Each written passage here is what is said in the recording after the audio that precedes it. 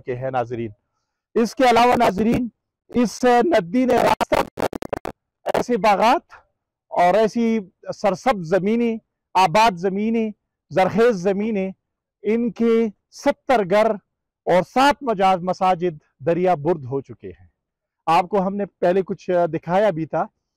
इस वक्त इनका जो संगीन मसला है, मैं तमाम ऑर्गेनाइजेशन से अपील करता हूँ, एक दरख्वास्त करता हूँ कि इस वक्त इन लोगों की सबसे अशद तरीन ज़रूरत तमीरत है अलहमदिल्ला जाम दारूम कराची की तरफ़ से हमने बुनियाद तकरीबन रख ही ली।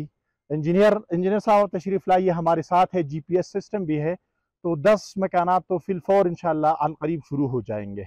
और इसके अलावा हम कोशिश करेंगे, हम चाहेंगे कि बैतुलसलाम भी, काबिश भी, टीम कराची भी, इदारतुल हरमैन भी, और बाकी जितनी टीमें हैं जामिया, ये बिनौरिया अलमिया और इसी तरह जामिया बिनौरी टाउन इदारतुल हरमैन, ये सारी ऑर्गेनाइजेशन आके अपना हिस्सा डाले। एक घर का खर्चा चार छः लाख से ऊपर नहीं जाएगा, क्योंकि लेबर इनका अपना है, लकड़ी इनका अपना है, रेत, बजरा इनका अपना है। तो ये है कि खर्चा चार छः लाख से ऊपर नहीं जाएगा। आप अगर 10-10 घर हर ऑर्गेनाइजेशन 20-20 घर डाल दे तो इन लोगों का मसला हल हो जाएगा मेरे ख्याल में। मसाजिद भी शहीद हो चुकी है, बहुत खूबसूरत सी।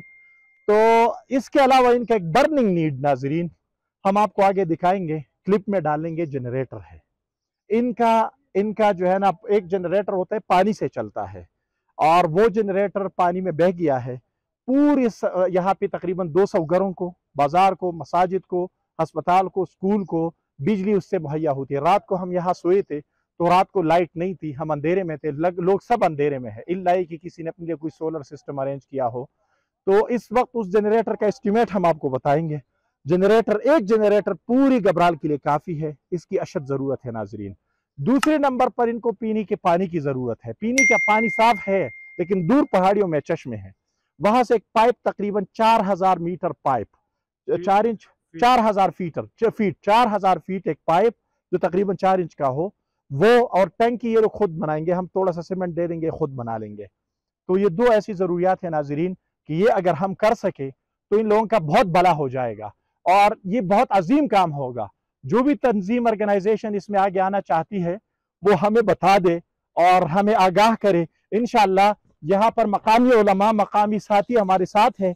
हम आपको सपोर्ट करेंगे और ये खूबसूरत बागात अल्लाह करे कि दोबारा हो ये शलजम का फ़सल भी दिखाई नीचे ये शलजम का फ़सल है गाड़ियों में बहरेन तक जाता है इनका आलू एक्सपोर्ट होता है नाजरीन और एक खास किस्म का साग है वो साग दुबई एक्सपोर्ट होता है वो जमीनी बह चुकी है तो नाजरीन आखिर में आपसे दोबारा ये अपील करता हूँ एक इनका जनरेटर का इशू हल करवा दे इंशाल्लाह इतना महँगा नहीं होगा मैं एस्टिमेट आपको बता दूँगा इस वक्त हम जनरेटर की जगह पे जा रहे हैं और दूसरे नंबर पर पानी का मसला, जिनके लिए चार हज़ार मीटर फीट, चार हज़ार फीट तकरीबन पाइप की ज़रूरत है। टैंकी ये लोग बना लेंगे।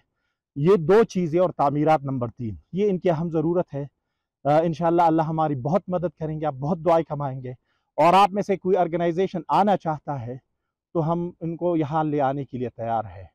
मैं दोबारा बैतुलसलाम वेलफेयर ट्रस्ट, हज़रत मुफ्ती अब्दुलसतार साहब दामद बरकत हमसे दरख्वास्त करूँगा। और इसके अलावा मैं काबिश वेलफेयर ट्रस्ट अम्मार तरीन भाई से दरख्वास्त करूँगा, उनकी इंतज़ामिया से, अतीक भाई से। मैं इसके अलावा बिनौरिया, आलमिया, मुफ्ती नुमान नईम साहब से भी दरख्वास्त करूँगा। मैं इसके अलावा इदारतुलहरमैन मौलाना तलहा अतीक़ुररहमान साहब से भी दरख्वास्त करूँगा।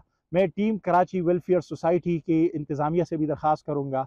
और बाकी जितने भी अहबाब हैं जो हमारे साथ खड़े हैं, कि वो इस सिलसिले में ताउन करे और इस गाँव की खूबसूरती को आबाद करे।